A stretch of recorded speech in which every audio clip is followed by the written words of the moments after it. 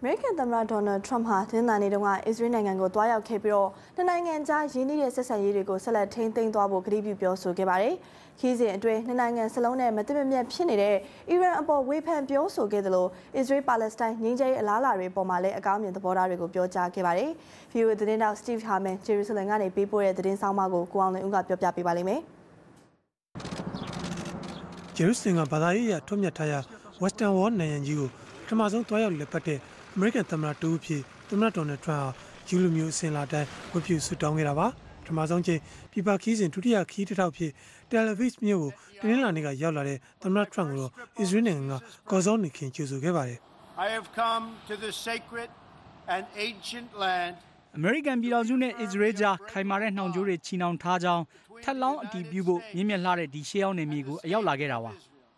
သမ္မတထရန့်ဟာအစ္စရေးဝန်ကြီးချုပ်ဘင်ဂျမင်နေတန်ယာဟုနဲ့လည်းရင်းနှီးမှုရရှိခဲ့သလိုကာလတော်ကြာရပ်ဆိုင်းနေတဲ့အရှိလေပိုင်းငင်းချင်ဆွေးနွေးမှုတွေတိုးတက်အောင်လုပ်ရမှာတော့ဒီလိုရင်းနှီးမှုတွေကိုအသုံးချနိုင်မှုလည်းမျှော်လင့်နေပါတယ်။မကြာသေးခင်တုန်းကအင်ဂျီရိုမှာရုရှားအစစ်မြေအရာရှိတွေနဲ့တွေ့ဆုံစဉ်ထိတန်းလျှို့ဝှက်သတင်းတွေကိုပြောခဲ့တဲ့အတွက် IS အစွန်းရောက်ဖွဲ့ထဲမှာလျှို့ဝှက်စုံစမ်းနေတဲ့အစ္စရေးထောက်လှမ်းရေးတွေအတွက်စိုးရိမ်စရာအနေဖြစ်ခဲ့ရတယ်လို့သတင်းတွေထွက်ပေါ်ခဲ့တာနဲ့ပတ်သက်လို့မိကုန်းထုတ်တဲ့အချိန်မှာတော့သမ္မတထရန့်အတွက်ကတိကောက်ဖြစ်စရာကြုံခဲ့ရတာပါ။ Just so you understand, I never mentioned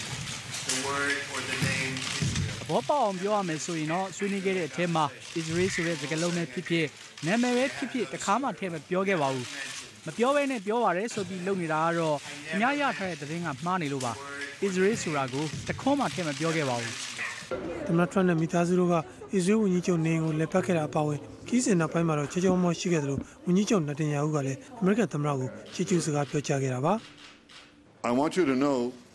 how much we appreciate အီရန်နိုင်ငံအပေါ်အမေရိကန်ရဲ့မူဝါဒပြောင်းလဲလာတဲ့အပေါ်ကျေးဇူးတင်စကားပြောကြားလိုပါတယ်။ဆီးရီးယားမှာဓာတုလက်နက်အသုံးပြုခဲ့တာကိုတုံ့ပြန်ဖို့ပြက်ပြက်သားသားဆုံးဖြတ်ခဲ့တာ